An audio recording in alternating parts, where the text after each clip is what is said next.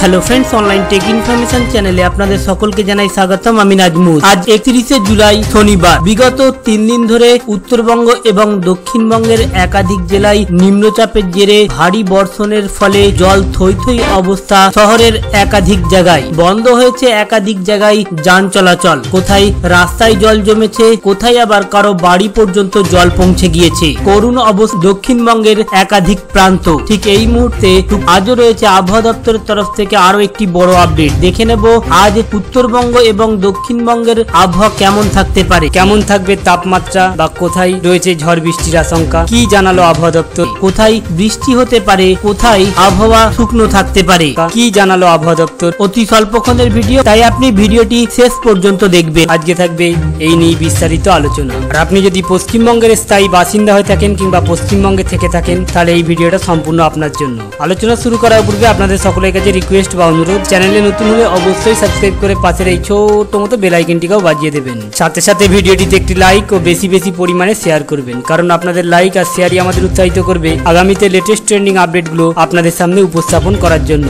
প্রথমেই দেখে নেওয়া যাক, দক্ষিণবঙ্গ ও উত্তরবঙ্গের একাধিক এলাকায় জলমগ্ন কি রকম অবস্থা রয়েছে, কতটা বিপর্যস্তর মধ্যে রয়েছে প্রত্যন্ত গ্রাম থেকে শহরবাসীরা। চলুন দেখে নেওয়া যাক এক নজরে একাধিক জায়গায় হাঁটু সমান জল নিম্নচাপে জেরে অবিরত বর্ষণ কার্যত নাকাল বাংলা। বিশেষত গাঙ্গে পশ্চিমবঙ্গের আবহাওয়ার পূর্বাভাস অনুযায়ী ব্যাপক বর্ষণ হয়েছে গত কয়েকদিনে। জল জমে কলকাতার রাস্তাগুলোকে স্তব্ধ করে দিয়ে একদিকে যেমন বিপর্যস্ত হয়েছে জনজীবন, অন্যদিকে এই নিম্নচাপের জেরে জলমগ্ন অবস্থায় জলই কাল হয়ে দাঁড়িয়েছে, প্রাণ গেছে বহু মানুষের, ঘর গেছে বহু মানুষের। চলুন দেখে নেওয়া যাক সরাসরি।